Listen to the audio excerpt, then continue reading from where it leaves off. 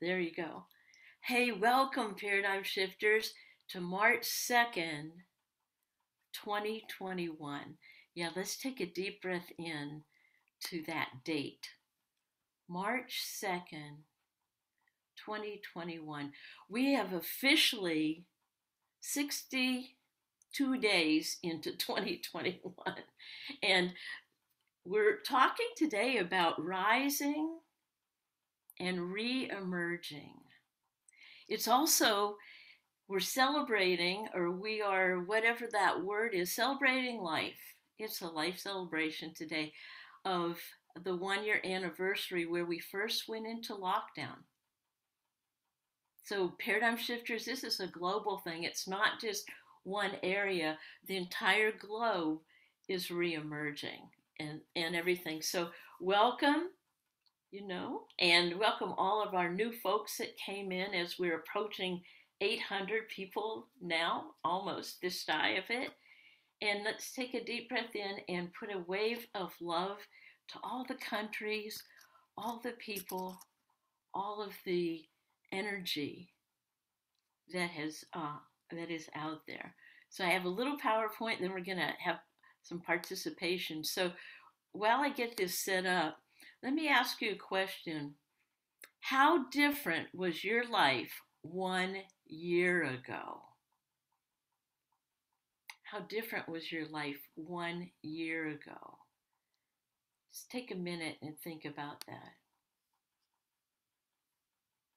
How different was your life one year ago? I know for me, you know, there's things seem so like Mm, uh, the things that were bugging me were bugging me. they don't bother me anymore. So, how different was your life one year ago in 2020? Yeah. So, here's a little PowerPoint. Rise and Reemerge Paradigm Shifters, March 2nd, 2021. Let's breathe into this picture here. Yeah rise and reemerge. All right. So this morning, when I was getting ready to, for this, um, I went for a walk. I was reading a poem with my meditation group called The Mighty Oaks. And I realized I hadn't gone to my um, park that I go to since the storms and I decided to go over there and see how everybody was. Those trees are my friends. And as I was walking, this tree had fallen over. And I just like, whoa. And I, you know, like this is a mighty oak. These oaks are over a hundred trees, you know, a lot of them over a hundred years old. This one had fallen over in the ice storm and I'm like, how does this tie in with rise and reemerge? And, you know, I spoke and I'm like, oh, there's tears that come, there's ice that come, and there's always a reemerging. So I looked, and the first thing I thought was, this is going to be a great climbing spot for the kids because the tree lay down and let the kids climb on it. Then I also saw this. This is where it was uprooted. And I got closer because I wanted to see what is in there. I wanted to see the root systems. So I was going down there and I'm like, whoa, you know, uh, this is a great place for all the bugs and stuff to grow and all of the, you know, things underneath there. And then I noticed the green grass is growing already here, all around it. And I started to go, oh, God has a bigger plan than I can see now. And I needed to see that root system. So this, you know, this all happened in the last hour before I got in here. And I'm like, this is so perfect. So this is about a book called Your Life. There's so many things written on the left hand, everything you know, all the things. And what if this is just another page in another chapter of your life? And the name of this book is called Now. This is David when he was two, and he would play around with my books. the power of now. He's 16 now. But, you know, what if this is the chapter called Now? Now, how can we really, really appreciate now when we're in the middle of stuff? So I wanted to read something today. A couple weeks ago, Kelly Glover came on here. And uh, she just came on. It was three weeks after both her parents had passed. And she just sent this out today. And I wanted to read this to you. Wow, I received a card from my parents' hospice care team today. As strange as this is going to sound, being with my parents while they were actively dying was the best gift that God could have ever given us. We got to love on them and tell them how much we loved them while they were still with us. And we couldn't have asked for a better team of hospice care workers. We had no idea we'd lose both parents within days of each other. But having this hospice team with us, along with these other people I don't want to necessarily name as extra supports, helped us to make it through without losing our faith. Without losing our faith, sanity, or strength. I hope I'm fortunate enough to transition in the comfort of my home, own home with my loved ones and a hospice care team like my parents had. So listen to this. We're going to breathe into this. God bless all hospice care workers in the world. God bless all, you know, because they're living their calling, they're living their passion. They're here to help families in transition. I just love it. So I wanted to show this little video. If I if you've seen it before, great. Let's look at it from new eyes in 20 March 2nd, 2021.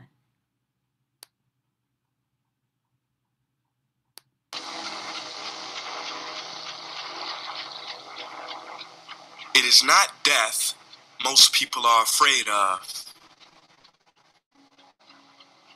It is getting to the end of life only to realize that you never truly lived. There was a study done, a hospital study, on 100 elderly people facing death close to their last breath. They were asked to reflect about their life's biggest regret. Nearly all of them said they regretted not the things they did, but the things they didn't do, the risks they never took, the dreams they didn't pursue. I ask you, will your last words be, if only I hit, hey, you, wake up. Why do you exist? Life is not meant to simply work, wait for the weekend, and pay rent. No, no, I don't know much, but I know this. Every person on this earth has a gift. And I apologize to the black community but I can no longer pretend. Martin Luther King, that man never had a dream. That dream had him. See, people don't choose dreams, dreams choose them. So the question I'm getting to is do you have the courage to grab the dream that picked you, that befits you and grips you? Or will you let it get away and slip? You know, I learned a fact about airplanes the other day. Now, this was this was so surprising. See, I was talking to a pilot, and he told me that many of his passengers think planes are dangerous to fly in. But he said, actually, it is a lot more dangerous for a plane to stay on the ground. I said, what? Like, how does that sound? Well, he said, he said because on the ground, the plane starts to rust, malfunction, and wear much faster than it ever would if it was in the air. As I walked away, I thought, yeah, makes total sense. Because planes were built to live in the skies, and every person was built to live out the dream they have inside. So it is perhaps the saddest loss to live a life on the ground without ever taking off. See, most of us are afraid of the thief that comes in the night to steal all of our things. But there's a thief in your mind who is after your dreams. His name is doubt. If you see him, call the cops and keep him away from the kids. Cause he is wanted for murder, for he has killed more dreams than failure ever did. He wears many disguises, and like a virus, will leave you blinded, divided, and turn you into a kinda. See, kinda is lethal. You know what kinda is. It's a lot of kinda people.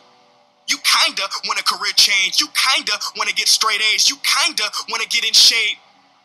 Simple math, no numbers to crunch. If you kinda want something, then you will kinda get the results you want. What is your dream? What ignites that spark? You can't kinda want that. You gotta want it with every part of your whole heart. Will you struggle? Yeah, yeah, you will struggle, no way around it. You will fall many times, but who's counting? Just remember, there's no such thing as a smooth mountain. If you want to make it to the top, then there are sharp ridges that must be stepped over. There will be times you get stressed and things you get depressed over, but let me tell you something. Steven Spielberg was rejected from film school three times. Three times, but he kept going. The television execs fired Oprah, said she wasn't fit for TV, but she kept going. Critics told Beyonce that she couldn't sing. She went through depression, but she kept going. Struggle and criticisms are prerequisites for greatness. That is the law of this universe, and no one escapes it. Because pain is life, but you can choose what type either the pain on the road to success or the pain of being haunted with regret.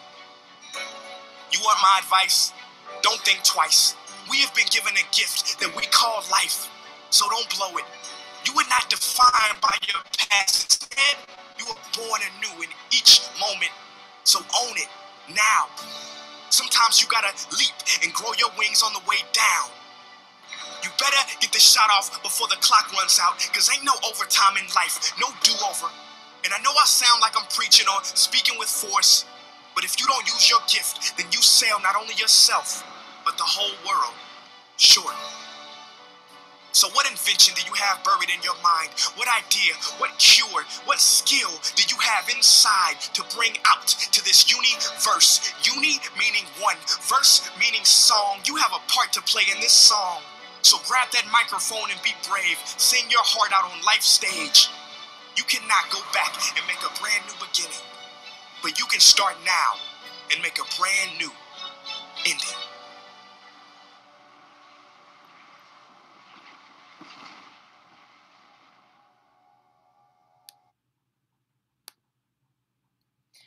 I love them. I just love that.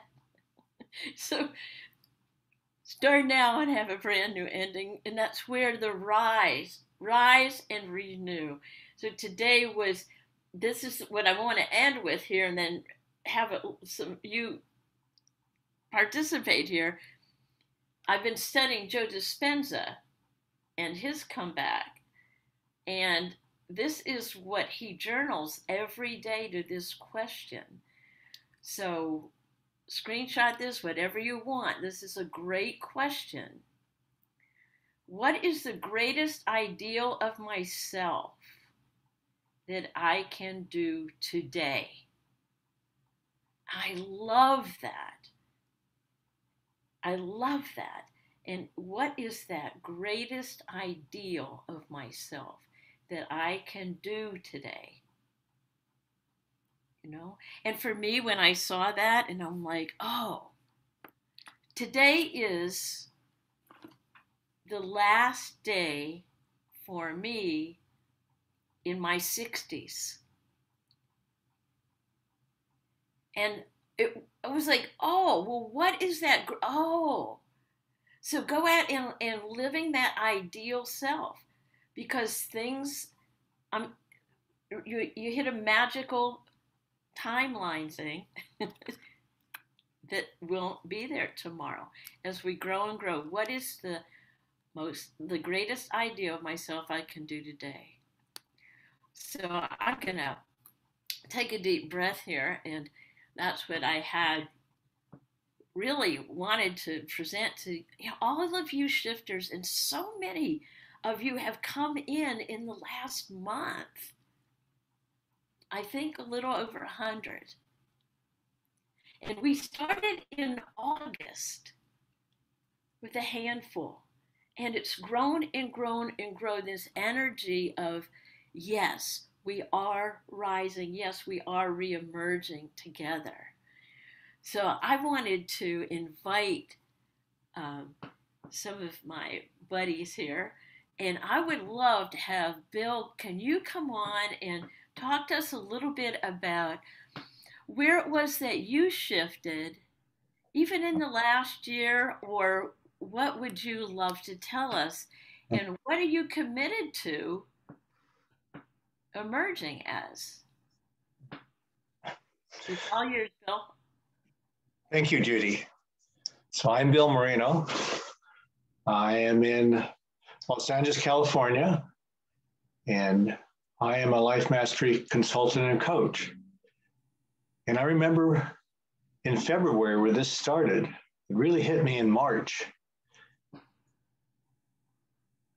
This thing called COVID. And through a number of things, you know, looking back, I could see one of the gifts is how much I took for granted a year ago. How much I took for granted, even the clear sky. So, with the pandemic, we had a fire here and we were evacuated, and that clear sky was completely brown, unhealthy to breathe. I felt surrounded by fear and dread, pandemic, loss of my home, my wife and I's home, the neighborhood. It was just a lot of fear and dread and fear and dread. And, and it reminded me of a time, luckily, many years ago, that I was at that point the most afraid of my life standing in the doorway of a plane with no door. And I knew when I let go of this plane, I'm going to at least break my femur and limp for the rest of my life. All I could hear is the plane going and my fear. And when I let go, I heard this.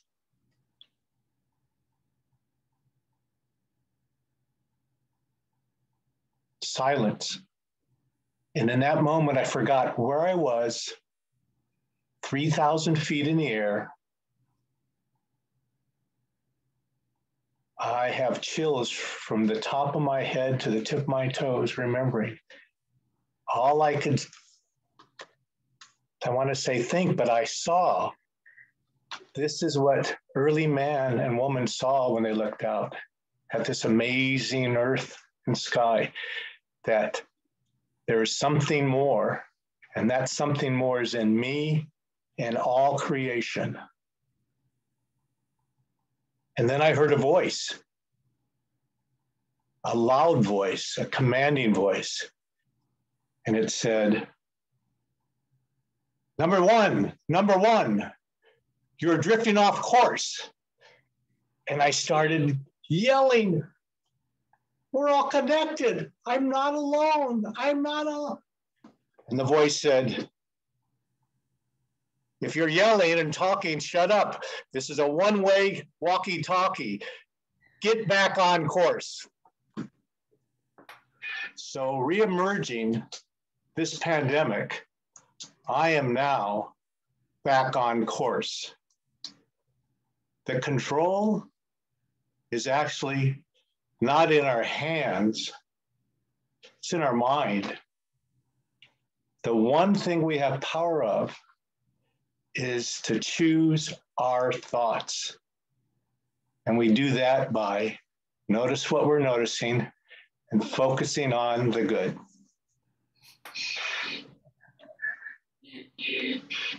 Amen. Amen. Thank you.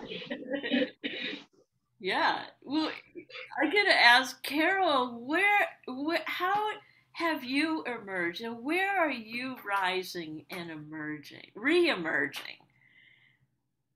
Would you mind coming on in here and, and talking? There she is. Well, I feel like I'm emerging every day, re-emerging, um, finding out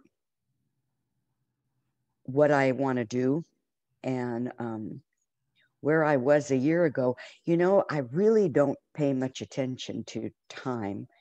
Um, so it's hard for me to to figure where I was exactly, but I was reemerging from all the chemicals and everything that had been put into my body, supposedly healing me, which I'm sure that they did their job. Um, for me, that was a, a, a real awakening because I felt like uh, like I needed to go deeper into my emotional and spiritual space. And I was stuck. And the one grateful thing is that the chemotherapy and the radiation and the immunotherapy kind of worked like dynamite to clear out all of the emotional garbage that was stuck in my tissue and in my body. And so I'm very grateful for going through that. I wasn't sure I was going to come out of it, but I just kept putting one foot in front of the other and and having trust and faith. And um, and I'm very grateful. Oh, we're so grateful for your journey. Mm-hmm. Yes, I love it. Yeah, reemerging. You know, whatever that means. I love that picture the caterpillar talking to the butterfly. The caterpillar saying, You've changed. And the butterfly saying, You're supposed to.